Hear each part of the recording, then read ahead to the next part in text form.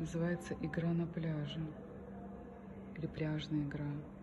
А, в 84 году она была изготовлена. Во что эти девочки играют, интересно, на пляже.